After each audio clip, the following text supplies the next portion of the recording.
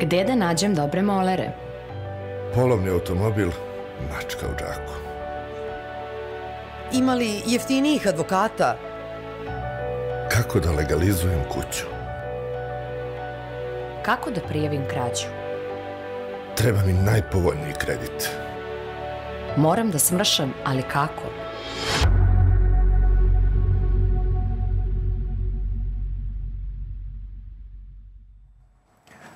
Poštovani gledalci, dobar dan. Ja sam Jovan Romanić, ovo je vaša omiljena emisija Savjetnik.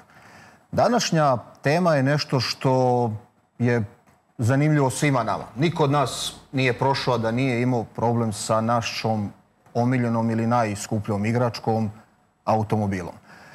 Moj današnji gost je gospodin Zoran Kastratović, e, koga mogu da najavim kao servis menadžera, profesionalnog vozača, mehaničara, inženjera, nekoga ko, kome je auto u malom prstu, da tako kažem. Dobar dan, gospodine Kastratoviću. Dobar dan, kolega. Drago mi je da ste me pozvali u jednu ovako pametnu i korisnu emisiju i nadam Hvala. se da ću imati neke reči koje će pomoći našim slušalcima i Ću imati gledalcima. savete za naše Naravno, gledalce. da. naravno. A, Ne postoje mehaničari koji, koji ne trljaju ruke kad im mušterija dođe u servis. A, pogotovo ako to vide da je u pitanju žensko, za, da ne vređamo dame, ali uvek se kaže da se manje razumeju u kola od muškaraca, mada nisam siguran da je to danas baš slučaj. Jel e, zaista to tako kad se, kad se pojavi dama u, u, u skupom autu u servisu? Pa ne bih se baš složio sa tobom. Znači, dame kod nas u servisu uvek imaju, mi smo onako da kažem mekši prema damama, a te dame uvek imaju neke svoje savjetnike, tako da one će uvek iskontrolisati. Dođu potkovane znanjem. Naravno, naravno. Tako da morate biti obazrivi kad su dame u pitanju. E, dobro, dobro. E, kažite mi ovako, e, danas ima taj problem sa, sa e, mehaničarima koji prikače kompjuter na auto i ako kompjuter kaže da je sve u redu, mehaničar se češka, gleda, ne zna šta je. Ima, ima to, dešava se, Pa da? naravno, naravno. Di- Dijagnostički uređaji su tu samo jedan od alatki koja pomaže tehničaru, to jest mehaničaru da, da ovaj, lokalizuje kvar i da da tačnu dijagnozu, a 50% slučajeva se dešava da, da uopšte to što dijagnostika kaže nije baš sve to tako. Da, Jer da. u protivnom mehaničari ne bi ni postojali, niti dijagnostičari, niti ljudi koji se bave tim popravkama. Onda bi mogli svi sami da popravljamo, kupimo dijagnostiku i, i ako nismo završili školu za to, radimo to Da. maltene na parkingu. To je nažalost nemoguće i na našu sreću. To je kao kada bi sad ja bio sam svoj doktor i sam sebe operišem kući. Mislim, to je nemoguće. Ne bi bilo dobro. Zato postoje ovlašćeni servisi, postoje neovlašćeni servisi, ne umanjujem značaj ni jednih ni drugih, znači e, stranke same biraju kome će dati poverenje i gde će se odlučiti za, za finalnu popravku. kad smo kod servisa jednih i drugih, uvek e, važi ono pravilo, stvarno važi pravilo među ljudima, u svakom servisu ima jedan dobar mehaničar i moli Boga da dođeš kod njega. Pa znate kako, to, to, to ima, ima neke logike, ali ne mora da znači. Znači, ovlašćeni servis um, koji radi malo jače brendove, masovnije brendove, ne može da ima jednog dobrog mehaničara, jer uh, puno dolazi vozila dnevno na popravku, tako da kao, opet poredim sa hirurgijom, kao imate dobre hirurgije i manje dobre hirurgije. Znači, i mi moramo da imamo dosta dobre majstore koji mo mogu da izađu na kraj sa, sa svakim problemom i uh, u ovlašćenom servisu koji, u kome ja radim, znači od pet, da kažemo, majstora, uvek postoje dva vrhunska koja mogu apsolutno svak, da nađu rešenje za svaki problem. to, je, to je dobro znati. E, kad smo kod majstora, dođemo na popravku i majstor kaže to u redu, popravit ćemo, možemo da uradimo i. E, posle tog i obično sledi i velika cifra i nešto što treba ili ne treba i onda mi kažemo, a dobro, možda bolje ne. Pa na servisu je da uvek sugeriše e, šta bi bilo potrebno uraditi, jer nekad Koliko su ljudi... iskrene, sad izvinite što vas prekidam, koliko su Pa iskrene ne, te... nema tu iskreno, neiskreno. To jednostavno treba. Ali vaša je odluka, uh, zato postoje vozila, kada je vozilo u garanciji, tu nema biranja, ovo Da. hoću, ovo neću. vozilo se, kad dođe na prvu godinu, na godišnji servis, ovaj, tačno ima, e, to nisam ja propisao, niti moj mehaničar, niti moj servis. To je propisao proizvođač automobila. Znači, mi moramo da radimo po onome kako je fabrika napisala. Znači, ako je fabrika rekla ulje se menja jednom godišnje na 15.000 km, mora i stranka da se pridržava toga, a i mi kao servis. To kad pričamo o garanciji, ali Pričamo većina garanciji. vozila koja dolaze Okej, nisu u garanciji. a, imamo vozila van garancije i onda vi dođete kod mene i pitate mene ili mog servisnog savjetnika šta, šta servis preporučuje. A, a, Beograd je 90% vozila koje dolazi kod nas uglavnom se voze po gradu, to je gradski uslovi, to su otežani uslovi korišćenja vozila i e, 15.000 km maksimum maksimuma koji važi za region Srbije i Beograda, da je to više nego potrebno na 15.000 km odraditi E, godišnji to, je, servis. to je jedno od pitanja da, koje, koje se stalno postavlja. Pre je bilo da ti servisi treba se radi na 5000, pa je to podignuto na 10. Sad e, u klasama malo višim automobila stoji na 25. Stoji i 30. Stoji i 30 sad na nekim novima, Pa da. objasnit ću vam šta je, šta je tu. Uh, ranije su se servisi radili, uh, kad smo mi počeli sa ovim biznisom 2007. sa, sa Hyundaijem, uh, postojali su servisi na 7500 km i sipalo se manje kvalitetno ulje, polusintetičko, i e, komplikovaniji motori, noviji motori novije generacije, Euro 4 i mlađi, su trošili full sintetičko ulje i servisi su se radili na 15.000 km. Međutim, mi smo vrlo brzo, posle godinu dana, shvatili da iz stranki je nezgodno dva puta godišnje da dolazi na servis, jer to je bilo u stvari šest meseci ili sedam i po hiljada. I onda su i fabrike umeđu vremenu ukinule ta jeftinija, manje kvalitetna ulja i prešlo se na, na, na ta, na ta ovaj, euro, praktično 4 euro 5 motori koriste ta, ili 16 ventilski motori su koristili uh, punu sintetiku, uh, visoko kvalitetna ulja koja mogu da izdrže 15.000 km. I to je i sada standard. Da. A, sada su leasing kuće i, i, i fabrike otišle u drugu, u drugu krajnost gde se taj rok po, podigo za, za zemlje gde nisu otežani uslovi, kao što je, ne znam, Nemačka, Italija, gde se mahom vozi po autoputevima, niko ne vozi po centru grada osim taksista, jer oni imaju metro, imaju sve. Da. Ovaj, kod njih je 30.000 km. Mi imamo, nažalost, problem u Srbiji gde, gde mi nekim flotnim kupcima smo u obavezi da radimo tako kasno servis, što bi se reklo. Oni pređu za godinu dana 30.000 km, ali to je nenormalno dug period. To ulje posle 30.000 km ne liči ni na šta, ali filozofija tih kuća je druga. Oni voze vozilo od 0 do 100.000 km, šta će posle toga Da. biti, njih to ne interesuje. Posle 100.000 km taj auto krene da troši ulje, onda vi kao kupac polovnog auta, vi imate, vi nasledite sve te probleme, u stvari njihove uštede. Dobro, to dolazimo do onoga šta nas briga, nek razmišlja onaj ko će da kupi. Upravo to. to, to je sta, stara posljedica. Uh, dotakli smo se gradske vožnje. Uh, još uvijek je većina automobila kod nas dizel. Većina automobila je dizel. Uh, koliko ta gradska vožnja guši te automobile, pogotovo novije ove automobile sad koji su dizeli. Ima neki savjet za te vozače koji se stalno kreću po gradu? Pa odabir automobila, uh, ako dizel je dobra opcija za grad, jer dizel motori imaju dobru karakteristiku obrtnog momenta, auto lepo vuče, idealno se ponaša u gradskim uslovima, ali ovi novi motori Euro 5 i Euro 6 generacije imaju zbog ekologije te partikularne filtere, DPF-ove i sve ostalo koji, nažalost, u gradskim uslovima uh, jednostavno budu zbog uslova vožnje, lošeg kvaliteta goriva ili milion drugih parametara, dolazi do čestog zagušenja i čestog problema da, da ti automobili malo, malo pa eto ih u servisu i uglavnom su ti problemi sa, sa partikularnim filterima. možemo mi to da, da nekako predupetrimo, da, da ne dolazimo u servis? Jel može taj uh, filter da se očisti, ipak su to novi auti, izađemo Pa, na autoput, da ga narodski rečeno može, spržimo. Može, može, može. E, Regeneracija, e, auto bira moment kad će odraditi regeneraciju sam,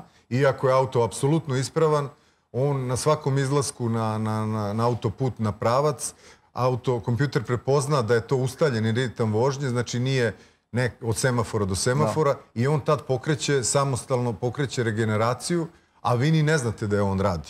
A pošto ne znamo koliko bi to često trebali da radimo. A, a, ne mož, na to vi ne možete da utičete. To auto sam radi. Ali morate jednom u, u, u, ovaj, u određenom periodu, ne znam, jednom mesečno E, pa makar, to, to. da izađete na autoput, da izvezete auto onako, da kažem, u nekom normalnom ritmu, možda malo i brže, da on, upravo to što ste rekli, znači da sam sebe očisti. Znači, da idemo uh, brže, pričamo o granici, ograničenju, nećemo preko ograničenja. Ograničenju, da, da. Ili da podignemo nivo obrtaja. Pa, e, potreban je, znači, kod dizela to je neki najnormalniji e, broj obrtaja, ne, ne preko 2800, a ne ni ispod 2200. Znači, kao da, voz, kao da idete na more, eto, autoputem. E, pa to, eto, to- je to neki, je- to je savjet neki koji smo ritam tražili. koji koji ovaj kompjuter vrlo brzo prepozna i kreće on sam u regeneraciju i ako, ako je motor zdrav, on će to uspešno odraditi. Međutim, ako, ako je on vožen jako, jako dugo sa upaljenom lampicom DPF, znači on i ako izađete na autoput, on to sam neće moći da odradi. Onda morate doći u servis. Serviser će pokušati to raznoraznim metodama, da statičkim regeneracijama da to oživi. Ako to ne uspe, onda se ide na varijantu ili skidanja DPF uređaja, pa slanje u specijalizovani servis za ispiranje toga. Znači jednostavno to je, dođe do zapušenja tog celog sistema. I motor ne može da diše, a krajnja posledica može da bude jako, jako komplikovan kvar, da odlazi turbina i svašta, mislim, milion drugih stvari strada zbog neadekvatnog izduva, to je zapušenje DPF. Jedna, jedna od najčešćih uh, pitanja koja se uh, pokreću po, po internetu jeste uh, automobil mi se gasi u vožnji, ne zna čovjek zašto. Da li je u pitanju neki mehanički kvar, da li je u pitanju kvalitet goriva. Šta može da bude razlog takvom problemu? Pa ako se on u vožnji gasi, to je već veći problem. To, to na pamet ovako ne može ni jedan serviser da vam kaže. Za, za takav kvar auto mora da dođe. To, ni, to, nije, to nije benigno. Znači to Da. mora auto doći u servis, da serviser pregleda, da se zakači naravno dijagnostika, ali nekad to dijagnostika i ne vidi. Znači Da, da, se proveri problem. DPF, da se provere dizne, da se proveri EGR ventil. Znači ima tu milion i jedna stvar koja može da utiče na... na to je već složen A kvar. ako se gasi samo na semaforu, stanemo i on Pa zavisi da li je dizel ili benzin. Ako se dizel ugasio na semaforu, to može da bude ozbiljniji kvar. Ako se benzinac ugasio na semaforu, to i nije tako strašno.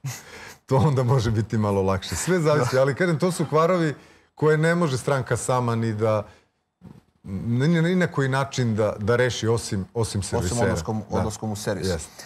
Uh, koliko danas uh, imate više uh, problema u servisima sa automatskim ili manuelnim menjačima? To je nešto sad, automatski menjači postaju sve popularniji. Koji su češći kvarovi? Pa prvo da definišemo šta je automatski menjač, zato što nova generacija automobila nosi takozvane DSG menjače kod Volkswagena, kod Hyundai je to DCT, to su double clutch e, menjači, to je dvostruko kvačilo i e, u suštini je to klasičan onaj menjač koji ste vozili, koji je bio Da. manuelni, samo ima eksternu komandu i on umesto vas pritiska kvačilo, odvaja, kupluje i sve ostalo radi. A imamo i klasične automatske menjače koji se de- i dan danas deklarišu kao AT, to jest Automatic Transmission, Da, da. koji su i dalje pravi, oni izvorni automatski menjači koji su po meni fenomenalna stvar. Znači to je, to je nešto što je Da, da, onda najbolje na kažemo, svetu. da onda kažemo kupcima da kupuju... Naravno, automatski menjač... Da ne beže od automatskog menjača. Na- naravno, uvek ide doplata. Mi kad prodajemo novo auto, doplata za, za full automatski menjač je uvek od 1500 do 2000 eura. Uvek je više. Naravno, za skuplje modele i to jeste savet. Imam, imamo, izvinite što vas sad uh, prekidam, uh, imamo uključenje. Halo? Halo, Halo, dobar dan, u programu ste, izvolite. Halo, dobar dan. Dobar dan. E, imam jedno pitanje, ako može, za automehaničara, Izvolite. gospodina. E, pa, imam jedan problem na, na, na automobilu kada, kli- kada pritisnem klačilo. Čuje se neki zvuk kao da je zarađalo nešto. Tako se čuje. A meni je rekao drug, a do duše drug je medicinski radnik, rekao je to ti je sigurno kor pod lamele. Pa me interesuje da li mu je vreme da se menja, da li je kor pod lamele ili šta li je, ako mogu da dobijem neki odgovor, bio bih vam zahvalan. Hvala na pitanju. Hvala na pitanju. Može, naravno. Drug medicinski radnik je apsolutno u pravu. Vi imate problem sa, sa ovaj, e, ve- najverovatnije je problem sa potisnim ležajem, narod, narodski zvano druk ležaj. Ovaj, potisni ležaj to je jedan e, lager koji se naslanja na, na korpu kvačila i e, ako se čuje metalno cviljenje, to je verovatno nj- problem u njemu i što pre treba da rešite to da vam ne bi oštetio i korpu i napravio dalje veću štetu. U 90% slučajeva ako se ode na vreme u servis, to se završava skidanjem menjača i zamenom potisnog ležaja. Naravno, majstori će pregledati da li je i lamela i korpa ima još života u sebi. Ako je sve to drugo ok, to će se vratiti i rešit ćete problem za, za minimalan novac. Da odmah kažemo našem gledalcu da su te popravke skupe. Pa, mislim, ne znam ni koji je auto u pitanju, ne znam ko, o čemu se radi, ali recimo za automobile, gradske automobile srednje klase, takva popravka, potisni leže košta negde oko desetak hiljada dinara, zavisi da li je originalni i neoriginalni, i demontaža menjača, recimo u nekom ozbiljnijem servisu košta negde oko, oko 12 do 13 hiljada dinara. Skupi se, skupi se Pa cifra. dobro, naravno, ima, ima rada dosta. Deo, Ima. deo kao deo nije skup, ali skidanje menjača je veliki posao. Znači to je ukupna cifra sve zajedno Da, i recimo, rad ruku i sve. sve. da, da. E, jedan od najvažnijih sistema na, na automobilu je upravljanje. Možemo li mi na neki način kao laici u vožnji da prepoznamo neki problem da bi moglo doći do nekog kvara, nešto, jer do kvara ako dođe u trenutku, to je onda... Pa može, nesreća. naravno, naravno. Mi imamo jako puno vozača koji, o, da li muško, da li žensko, čovjek čuje, zna svoj auto i kad čuje nešto neuobičajeno, oni dođu do servisa gde mi konstatujemo da je kraj spone već otišao, da je kugla otišla, da je nešto oko uprav, upravljačkog mehanizma loše i to je najbolje odmah sanirati što pre, jer e, ako zapustite, ode vam kraj spone, ne odreagujete na vreme, potrošit će vam i gume, mislim, neće vam otpasti točak Da, da, odmah, da, da. Ali, ali pravi vam tu neku drugu vrstu e, troška koja vam nije trebala. Eto, kao sad malo pre smo Da. pričali o ovom potisnom ležaju. Znači, ako, ako čovek kad čim čuje cviljenje ode u servis, majstori skinu menjač, vrate, neće morati da se menja korpa i lamela u, u najvećem broju slučajeva. Međutim, ako on vozi mesec dana, ako zapusti, onda će morati korpa se menja, korpa ne ide solo, onda ide u kompletu i onda umesto je tu i 15.000 trošak i- odosmo na i- 30-35.000 da, da. dinara. Uh, u, u posljednjih minut, dva, dva puta ste izgovorili reč čuo. Savet za naše vozače bi bio isključite ponekad muziku, Naravno, čujte naravno, kako se naravno. ponaša vaš automobil, možda ima neki zvuk koji, koji do sad nije bio, ako stalno muzika odvrnuta, teško Naravno, možda se naravno, čuje. muzika treba da bude tek tu blago prisutna, ali a, pri prelasku preko ležećih policajaca, penjanja na ivičnjak, uvek ti neki zvukovi se jave ako, ako je nešto ako je nešto dobilo ima lufta, ako je nešto... I, I naravno, nemoj da zapostavljate to, jer ipak, ipak je glava u pitanju. zvuk preko ležećeg policajca. Uh, uvek kažemo, ako zvuk dolazi iz drugog kraja automobila, sa zadnjeg kraja, ma, nazad nema ništa, nije bitno. Znači, to je rečenica koja se toliko često čuje kod naših vozača, pogotovo kad su stari automobili, nazad nije motor, nazad nije menjač, nije bitno ako se čuje nazad. Pa, ajde kažemo, ima neke logike, ali i, i to, i ist, ista je stvar, kako, kao i nazad, tako i napred. Uh, što pre dođete u servis, manje je šteta. To, to, to je jednostavno tako. Imamo uključenje. Halo, dobar dan, izvolite. Dobar dan. Dobar dan, izvolite, u programu ste. Imam 205 Peugeot 91. 30 godine, oldtimer. Izvolite. Dobar dan. Izvolite, izvolite, čuli smo vas. Gledam Peugeot, vas i čujem vas dobro. Peugeot, Peugeot Oldtimer. Imate pitanje? Imam pi- pitanje, pod punim gasom radi, Dobro. pod punim gasom radi, čim pustim gasom, le- na ler gas se ugasi. U redu, hvala, hvala. Oldtimer je u pitanju, Peugeot. Pa, Peugeot 205, to godište, ja mislim da ima uh, već sistem ubrizgavanja. Uh, trebao bi imati, nisam sad 100% siguran, ali iz, iz, ove, iz ove priče. Verovatno, pošto je starije vozilo, ne vozi se tako često. Po meni bi trebalo probati sa čišćenjem Disney, jer, kažem, kod starih automobila, kad se jako malo voze, dolazi do začepljenja. Znači, to se vrlo lako rešava. Skinu se Disney, ultrazvučna kada i jednostavno sigurno mu neće škoditi, a najverovatnije će biti problem rešen. U servisu, U, najbolje. naravno, to mora servis da radi. Znači, ultrazvučnu kadu ne može...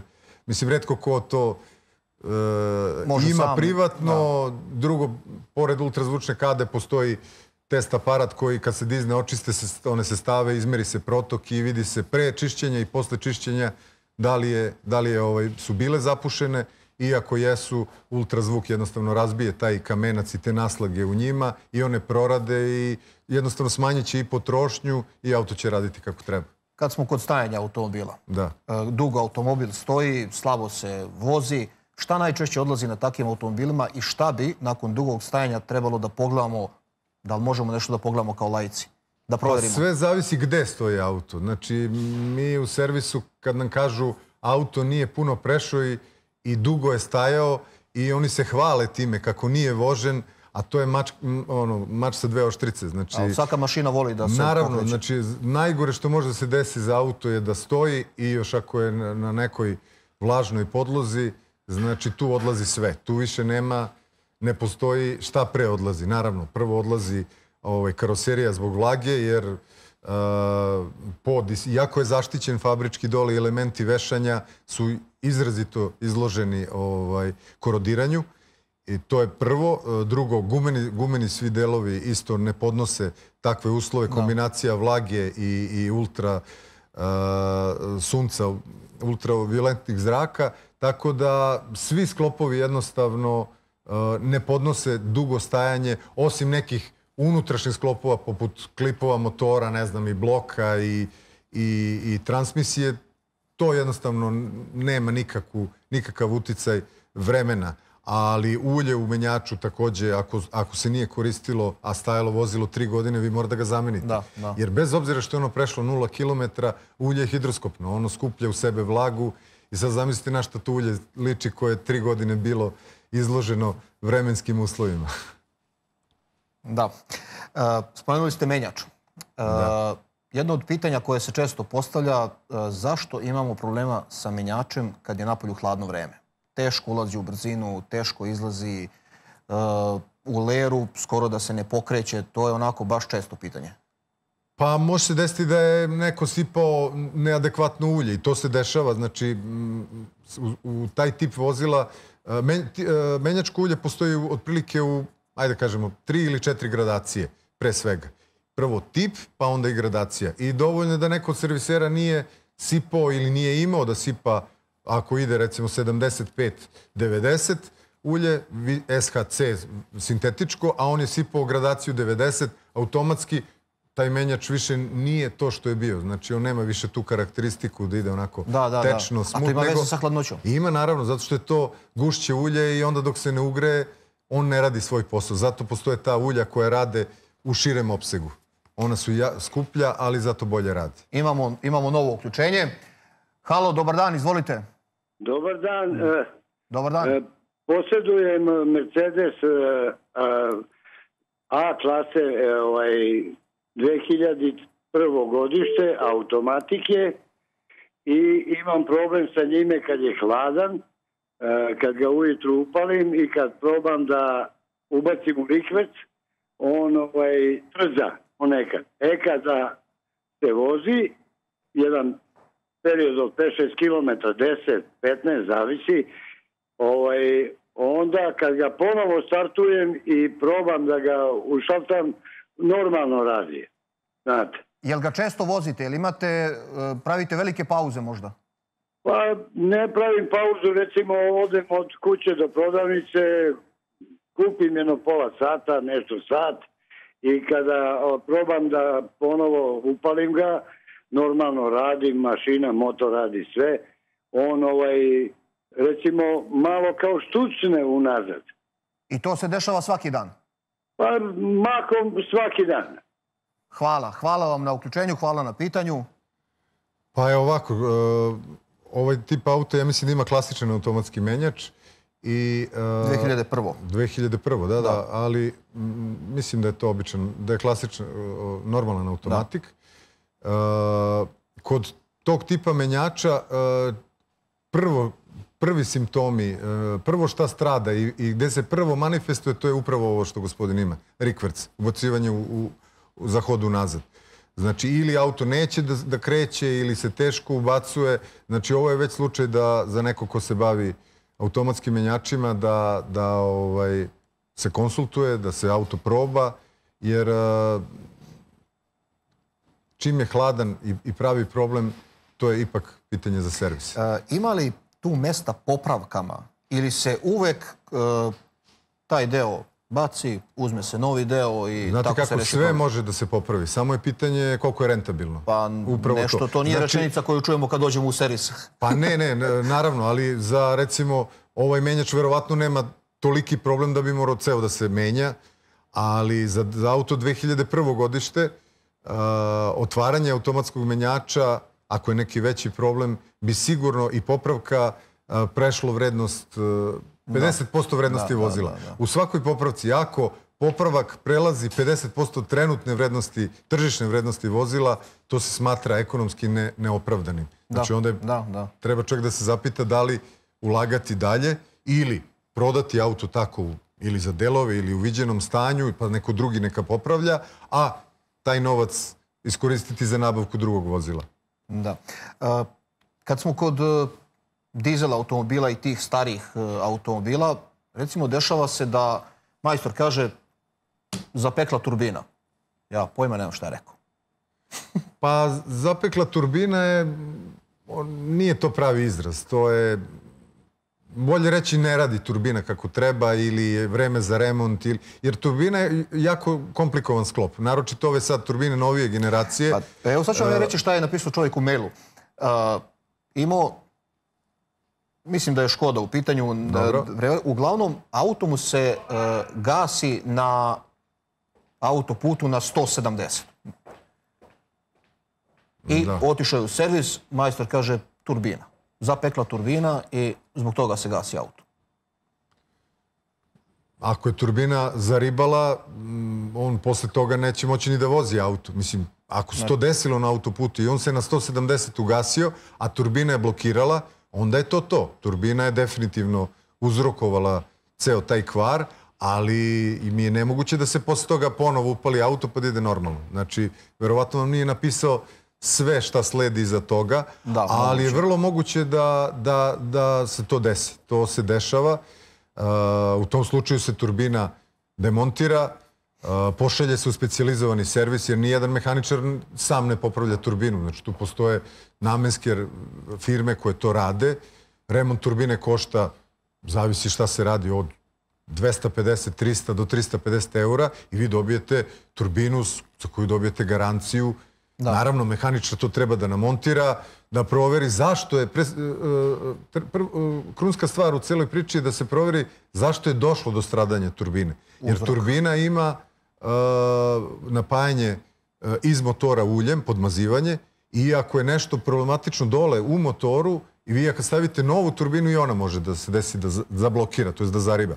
Tako da mehaničar mora sve to da isproverava i tek onda da, da se stavi remontovana ili nova turbina. Kad, kad smo, I kad da smo se zameni ulje, naravno, i sve to. kad smo kod, e, kod uzroka, jel može vozač da bude uzrok e, tim kvarovima? Ne, ne, Način ne, jako vožnje? teško. Pa mislim može, teoretski može, ali uz neku normalnu eksploataciju, znači normalan vozač, vi možete sad da sednete u auto, prođete naplatnu rampu, ubacite u drugu i da do Zagreba vozite drugom brzinom. Naravno da ćete ubiti taj auto, ali u nekoj normalnoj eksploataciji, normalnom broju obrtaja, znači da ulazite u crveno polje, svaki dizel ima obeleženo na 4000 obrtaja crveno polje, vi možete da dotaknete to polje, ali Znate zašto sam vas to pitao? E, zato što uvijek e, ima, ima ona rečenica ako čovjek poštuje ograničenja brzine, sva pravila, vozi kao neki početnik, nema pojma, njegov auto će da se pokvari brže nego ostali,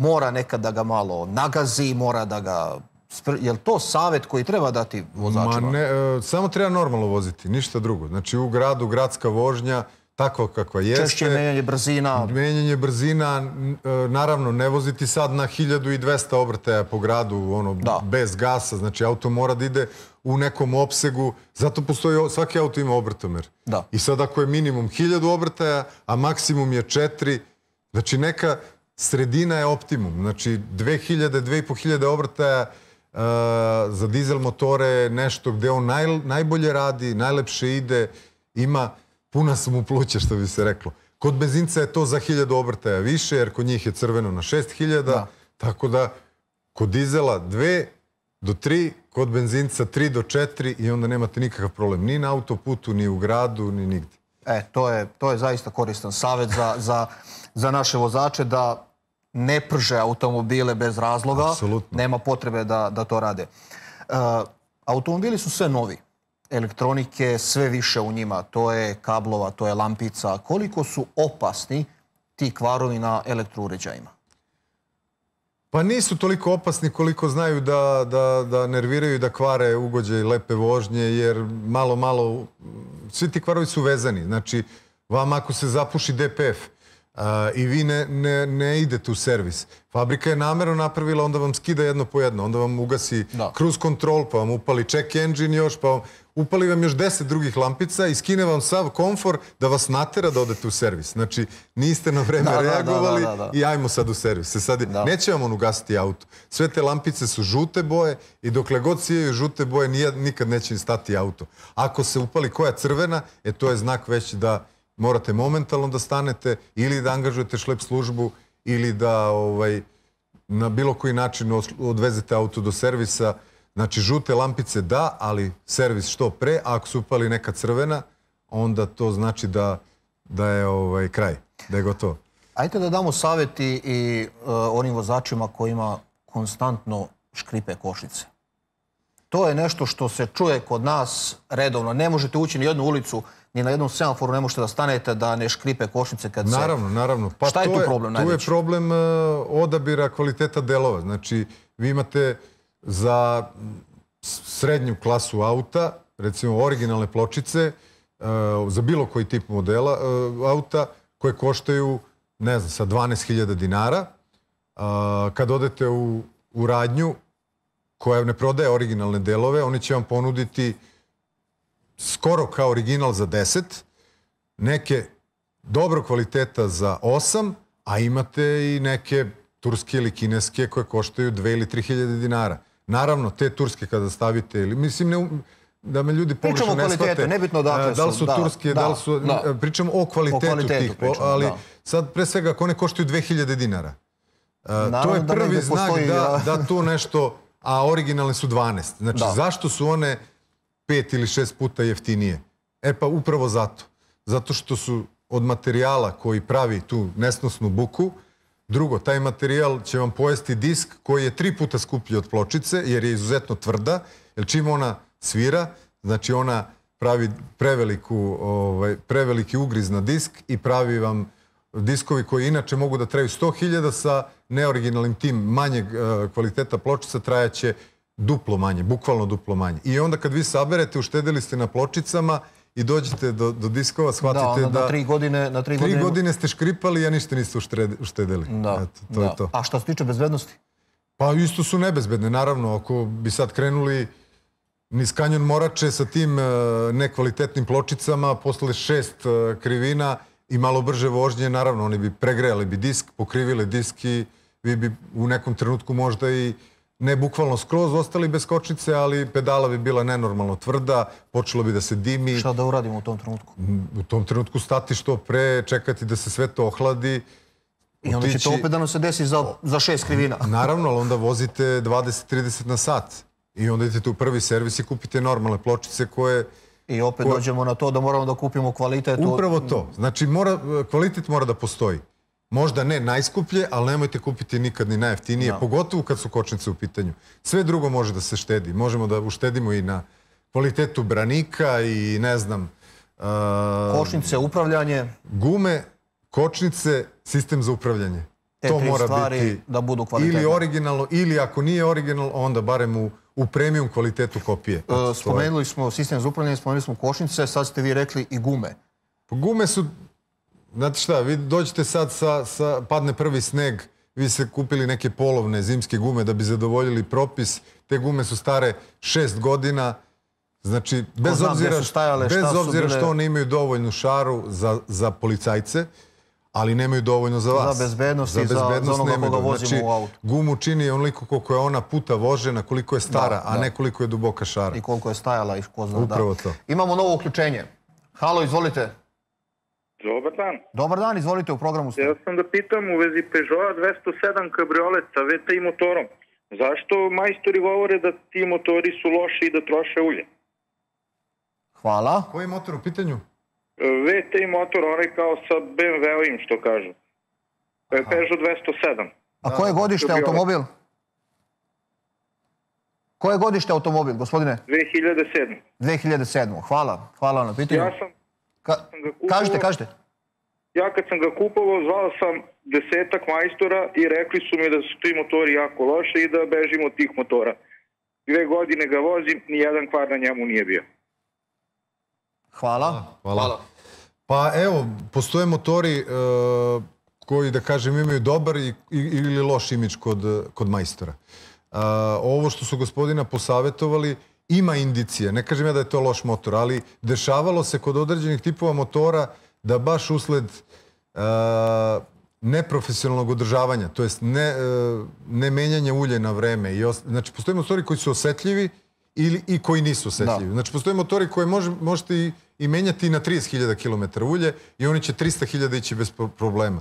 A postoje i ovi kao što je gospodinov, ako neko nekada zakaže u zameni ulja i nešto ne odrađuje na vreme, on će na 150 ili 200.000 praviti narednom kupcu velike probleme u smislu potrošnje ulja. Jer šta se tu desi? Nahvata se garež ispod karika i e, jednostavno karike ne odrađuju svoj posao. E, ulje e, iz kartera prolazi u komoru za sagorevanje, to isto ulje motor potroši, a nigde ne curi ulje. Jednostavno od zamene do zamene vi shvatite da vama motor pojede praktično 3 litre ulja. To ne znači da će on da stane, niti će bilo koji problem biti, ali 3 litre ulja za, za, za 10 ili 15 hiljada kilometra je, vam, vi se malo loše osjećate zbog Da, toga. A to ne možete tek tako rešiti. To mora otvaranje motora. E, e takvi, takav tip motora e, majstori generalno osuđuju kao da je loš motor. Ne mora da znači da je loš. Ako se održava kako treba, evo, kao gospodin kaže, on, on trenutno nema nikakvih Da. Znači, verovatno on redovno menja ulje, posećuje servise i sigurno će i naredni kupac biti zadovoljan sa, sa tim tipom motora. Hvala, nadam se da smo, da smo objasnili gospodinu. On kaže da nije pogrešio, što je najvažnije. Pa naravno, Da je on je da je on zadovoljan. zadovoljan. Da je on A šta zadovoljan, drugi onda- pričaju? Upravo to, onda je sve, onda je sve, sve u redu. E, dolazi do problema na kolima često i, i sa paljenjem. Neće da upali, pogotovo ako je na ključ, pa tu i, kao kažu narod, verdla, a na kraju ne dođe do paljenja. E, šta je najčešći problem? Baš e, ključ, e, akumulator, šta može tu biti Pa najveći problem? sad evo, bliži, Dolazi se, zima, bli- bliži da. se kraj leta, da, očekuje nas uh, ulazak u, u zimsku sezonu. Prva stvar šta ja savjetujem naše kupce, kada, kada dođe vreme za zamenu guma, znači mi moramo po zakonu Da. uh, od 1. novembra da, da imamo M plus S gume, to je to je i vreme kad vi treba da prekontrolišete svoje vozilo, to jest da posetite servis, iako nemate nikakav problem, znači ako je dizel u pitanju da se prekontrolišu grejači, da se prekontroliše baterija i e, naravno da stavite zimske gume, M plus S gume i onda ako odete na skijanje znate, da, znate šta vas čeka. Znači ako su vam grejači dobri, sipali ste kvalitetnu naftu, ako vam je baterija prošla test, ovaj, ako imate 90% kapaciteta u bateriji, vi možete i na minus 15 na, na Kopaonik ili na Staru planinu ili gde god da odete, spremno da dočekate uh, zimu. Da. Jer me, nama se često dešava, ljudi voze po Beogradu, ne kontrolišu to i onda zovu sa Koponika, zovu iz, sa Bjelašnice, ne znam odakle, e, stajao mi je auto na polju, sad mi sporo vergla, Da, dugo da, da, sam da, verglao, nije mogao da upali. A, čim je on dugo verglao, znači postoji neki problem. Verovatno grejači nisu dobri. E, kad smo kod tih grejača, jel može to nekako da se, da se vidi da su ti grejači loši, sem u servisu? Jel možemo mi to nekako Ne po možete. autu da poznamo? Nikako. Ne možete, ne možete. To i jeste problem, zato, zato se to i dešava. Što vi u Beogradu nemate minus 15, niti možete da isimulirate minus 15. Da. I na minus 5 vam pali, a, do minus 5 auto može i bez, bez grejača praktično da upali. Malo duže vergla, ali upali. Ali već na minus 15 ako vam grejači nisu dobri, a baterija i ole malo popustila, od tog startovanja motora Koliko nema košta ništa. ta standardna provera svega toga što ste sad rekli vezano za paljenje? Pa obično, obično svi servisi manje više tu te neke kontrolne preglede naplaćuju oko 2000 dinara. To uključuje tu, znači da se provere i grejači i, i baterija, e, pregleda se vozilo. Ako znači, damo 2000 za zamenu guma, još pa 2000 kažem, to je, da, da. To, ako hoćete da kupite bezbednost, to je, Naravno. to, je, to je najbolja stvar. A ako niste revnosni, onda bar uzmite neko osiguranje ovo na putu od bilo koje agencije, pa i ako se to desi, ne morate šta zvati servis, zovete agenciju, Da. vama, vi ste to platili, oni će vas došlepati do najbližeg servisa i problem će biti rešen. Jer kažem, meni kad zovu sa, e, sa Koponika na minus 30, kako ja da im pomognem? Nikako. Nikako, realno. Osim, osim Realno da kažem, nikako, da. probajte, parkirajte negde auto u garažu, da se on odledi, pozovite e, Ono, AMS zalivanje službu. vruće vode, Pa, paljenje vatre ispod njega, ni slučajno. Sve, to je nebezbedno. Ali nama su vezane ruke, a kažem, a, vi niste pregledali vozilo, otišli ste bez osiguranja i onda posle toga svako, svaka sledeća akcija je preskupa. Znači, Da. ne isplati se jednostavno. Uh, kad smo kod tih sigurnosti, negde uh, uvek pre se stalno moglo čuti, išao sam na centriranje trapa, proverio sam, uh, ja to danas ne čujem. Ja ne čujem danas da ljudi idu toliko na, na centriranje trapa. Je li to razlog što su auti nešto novi ili je razlog jednostavno što su ljudi postali malo Pa, neodgovorni? I, I jedno i drugo. I jedno i drugo. jedno i drugo. Auti su novi, a, mogu reći kvalitetnije se prave. Ipak, e, bez obzira mi imamo i dalje jako loše puteve i u gradskim uslovima. Svaka ulica, svaka treća ulica ima ležećeg policajca, to ranije nije bilo toliko i opet traju ti sklopovi, nisu, Da. nije, nije to tako brzo ovaj, potrošivo. Tako da to je jedan razlog što to malo duže traje, a drugi ljudi su se razmazili. Jednostavno, zaboravili su da treba, pogotovo ako kupujete nove pneumatike, sad kupujete zimske pneumatike i date, one nisu više jeftini Da, to- kao što da, su da. bili. I sad ako je vama trap nije centriran iz bilo kog razloga, ako prethodni vlasnik je menjao nešto na trapu, a nije uradio reglažu posle toga, vi ćete skratiti vek trajanja tim novim gumama. Znači, opravdava, kako da kažem, pogotovo ako ste... da, naravno, pogotovo. Ako, ako, ako menjate gume. Ili ako menjamo auto, ili- uvek je dobro odmah otići proveriti. Naravno, proverite, vi krenete od vas, vi uradite vaše, stavite Pa, vaše da. gume i onda ste mirni, onda da znate vidimo da je to... šta, koje, koje pitanje ima gledalac. Izvolite. Dobar dan u programu ste, izvolite. Dobar dan. Dobar dan. E, e, hteo sam da pitam za Volkswagen Polo 1200 kubika. E, 2007. godište. Pojavljuje mi se signal izduvni sistem. To i pojavljuje se povremeno elektronska kontrola, odnosno kao proklizavanje. E, ali ovaj izduvni sistem već sada stalno kad uključim auto, upalim, onda taj e, signal stoji stalno. Je li u pitanju dizel? Ne, benzinac. Benzinac. Benzinac. Benzinac, 1200 kubika, 2007. godište. Hvala. Samo sekund. Da, da, ostanite na vezi. Budite na vezi. A kako mislite, uh, uh, mislite na check engine lampicu? Da, to je na, da, na, na displeju na ovome Žuta pokazuje boja, žuta ona lampica i piše izduvni sistem. Da, da, da. Ok, hvala. Hvala, hvala na pitanju. Pa ovo je jedan klasičan benzinac. Uh, ovo je ono, i u prvom onom javljanju imali smo komentar baš vezano za ovo. U, u najvećem broju slučajeva, ovo mora auto na dijagnostiku da ode, znači da se prvo iščita greška uh, zašto je prijavio uh, check engine. Uh, verovatno je neadekvatno sagorevanje uh, to lambda sonda registruje i zato, zato auto malo lošije radi. Znači, najverovatnije nešto oko ubrizgavanja goriva nije u redu. Moguće da, da će čak i čišćenje Disney uroditi plodom, a ako ne, onda se proveri da nema nekih, da auto slučajno ne vuče falš vazduh ili nešto, jer kod ovog tipa motora, ovo je lako rešiv kvar. Čuli ste, čuli ste gospodine uh, savet. Prvo dijagnostika. Prvo dijagnostika, pa... Majstor će reći da li treba e, proveriti eventualno neku u crevu na usisu ili, je, ili će vam predložiti čišćenje e, ovih e, brizgaljki i to je to. Rešivo je. Poštovani gledalci, bilo je ovo sve za danas u emisiji Savjetnik. Moj današnji gost bio je gospodin Zoran Kastratović, profesionalni vozač. Mnogo korisnih savjeta smo dobili, mnogo korisnih informacija. E, Pišite nam savjetnik at happytv.rs Iznesite vaše probleme, postavite pitanja, predložite goste, predložite teme. E, Happy televizija i savjetnik su ovde isključivo zbog vas. Pokušat ćemo da vam izađemo u susret, da nađemo odgovore na vaša pitanja. Ostanite uz Happy televiziju, sledi Telemaster i najnovije vesti i zapamtite, svaki problem ima rešenje. Prijatno. Gde da nađem dobre molere? Polovni automobil, mačka u džaku. Ima li jeftinijih advokata? Kako da legalizujem kuću? Kako da prijavim krađu? Treba mi najpovoljniji kredit. Moram da smršam, ali kako?